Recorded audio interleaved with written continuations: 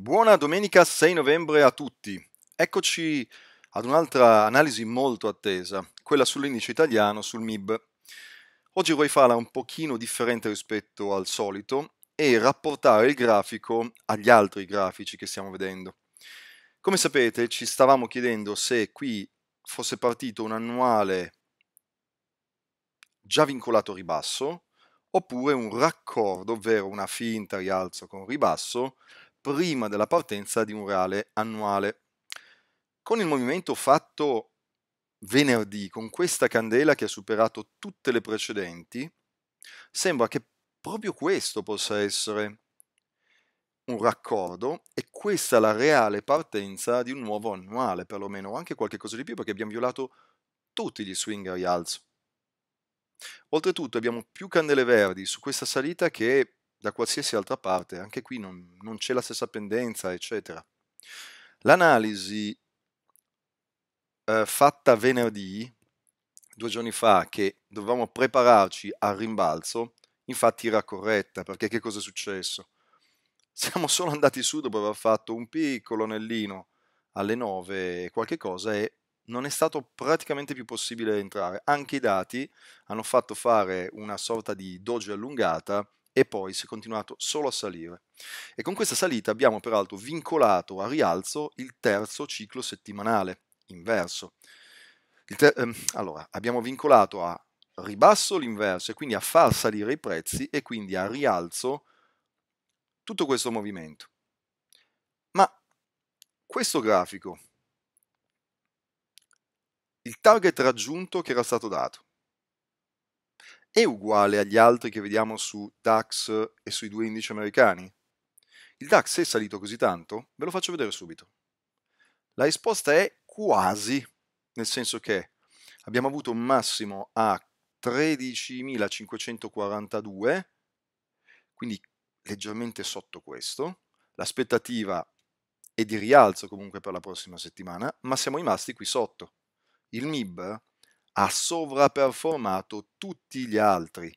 Tutti gli altri perché? Perché se andiamo a vedere l'SP 500, qui la situazione non è proprio idilliaca. Eh? Anzi, se purtroppo avremo una conferma di una chiusura di un trimestrale qui, male male, ok? Perché avremo la conferma di un annuale già ribassista, a partire da qui. E quindi non potremo che continuare a scendere. Qui, su Nasdaq, quanto siamo saliti rispetto, siamo a, rispetto al MIB? Non so se avevate notato questa, questa cosa. SP, Nasdaq. Anche qui sembra che si stia ormai andando a confermare il fatto che Qui c'è un annuale ribassista. È stato violato lo swing per la sua partenza. Abbiamo avuto almeno 48 giorni sopra questo minimo, anche di più in realtà. Quindi le due condizioni sono state assolte. E ogni rimbalzo si, si, si rischia di tornare giù. Capite che qui la situazione sta diventando drammatica. Mentre invece su MIB massimo assoluto da dal 16 di agosto. Volevo farvi vedere queste cose perché in tanti si sono abituati bene in questi ultimi anni. Tutti gli indici andavano più o meno nella stessa parte, c'erano differenze, per carità vi ho fatto vedere quanto ha lateralizzato il DAX rispetto all'S&P 500, però tutto sommato, orientativamente, le cose sono sempre andate abbastanza di pari passo. Con questa sparata all'insù del MIB, con questa forza relativa decisamente più alta del DAX, ci stiamo staccando nettamente dagli indici americani. Nettamente proprio, eh? senza alcuna ombra di dubbio. Sull'italiano, come vi dicevo, mi, fa, mi viene proprio da pensare che questo sia un raccordo tra biennali e che da qui sia partito un vero biennale. Avendo già 17 giorni sopra un minimo, qui possiamo serenamente fare T più 3 barra 4 ok? Una roba che si stacca eh, di qua, ma proprio in maniera pesante. Anche qui però, come al solito, dovremo fare i conti con l'inverso. Che cosa ci dice l'inverso?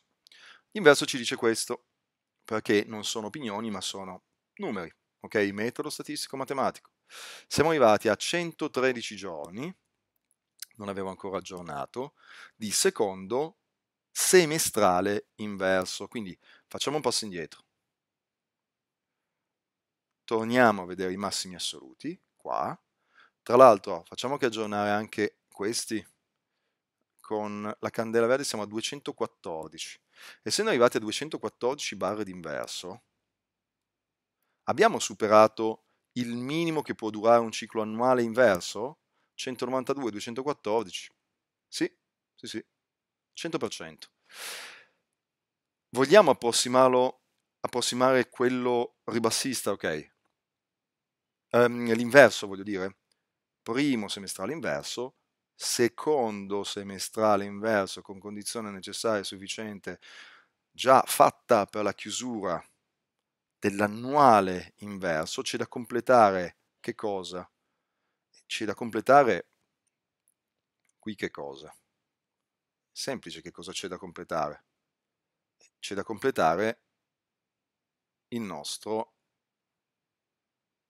mensile inverso, che è arrivato a dunque partito da qui, che è arrivato a 23 bar su minimo 24. Quindi una candela per chiudere, per avere la condizione necessaria e sufficiente per chiudere questo mensile inverso, due candele per andare a chiudere con una condizione sufficiente questo terzo T inverso, massimo, partenza dal massimo a 23.101.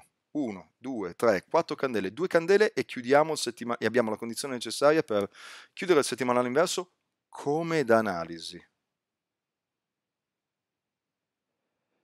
Poi inizierei ad avere un po' di paura che mi venga addosso un nuovo annuale inverso.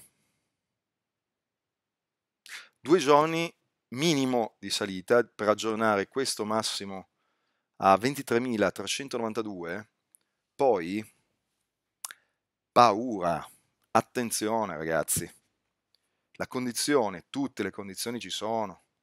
Abbiamo un secondo semestrale inverso, il secondo dell'annuale inverso, a 113 barre e quante ne dura? Minimo 96, condizione rispettata. Come detto, una candela per chiudere con un top assoluto, questo secondo mensile inverso, 2 per chiudere settimanale inverso, poi io inizierò ad avere paura a ragionare di long, di posizioni long, se non si continuano a violare dopo la partenza di un settimanale i massimi. E anche ci fosse una violazione dei massimi con un settimanale inverso in essere, avevi paura di un raccordo, di qualsiasi cosa ci possa essere tra un annuale inverso ed un altro annuale inverso. Tra l'annuale inverso e un altro annuale inverso, sappiamo che cosa può esserci, che tipo di raccordo, quanto dura e tutto il resto. Ma in ogni caso, adesso bisogna iniziare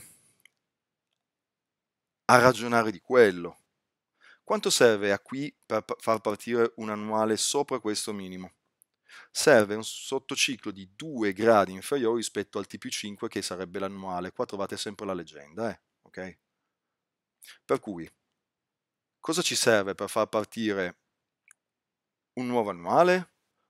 Due gradi inferiori, 1, 2, ci servono 48 giorni minimo sopra questo minimo.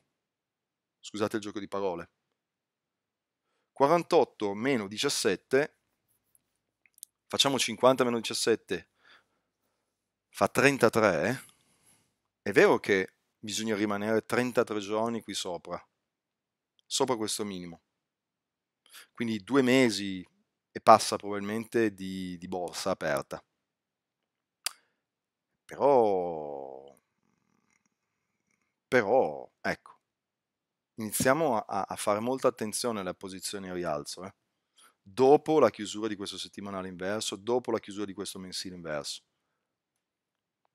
Perché entriamo in una zona che si può definire come un campo minato per quanto riguarda l'inverso. Siamo tra l'altro arrivati a target per quanto riguarda il discorso di media mobile a 200 periodi. Sì, sì, possiamo provare a superarla, poi vediamo, perché se la superassimo e rimanessimo sopra stabilmente è un conto. Se non ce la faremo, chiuso il mensile, da, tra sette giorni di borsa aperta in avanti possiamo averlo chiuso. Poi andrei a vedere che top di nuovo si farà, se supereremo il top del primo mensile, se non lo supereremo mi verranno i brividi. Direi che per la prossima settimana eh, ci siamo già detti tutti, eh, tutto, settimanale inverso vincolato a far salire i prezzi ancora per i prossimi tre giorni, due giorni, ok? Poi attenzione, quindi noi valuteremo fino a quando fare long sui minimi che ci potranno dare, magari un minimo decente per la chiusura di un due giorni, di un ciclo T-2, ci piacerebbe per, per, poter comprare a un buon prezzo, ma attenzione perché qui possibile che non sia neanche partito il secondo T-3, il secondo ciclo giornaliero, qui può aver chiuso il primo, poi salita ancora e poi dopo discesa si sono presi un bel vantaggio. Per cui ricordatevi che esaurito il tempo per chiudere questo e per chiudere il mensile inverso, dopo la salita che ci può essere ancora per buona parte della prossima settimana, attenzione ad andare long. Vi ringrazio per il vostro tempo e vi auguro una splendida giornata. Arrivederci. Uh, se vi è piaciuta l'analisi, tra l'altro, mettete un bel like, iscrivetevi al canale, siamo più di 14.000 persone iscritti, trader, che non vogliono più far parte del parco buoi, che non vogliono più farsi prendere in giro da chi racconta delle cose che non servono assolutamente a nulla per capire dove vanno i mercati.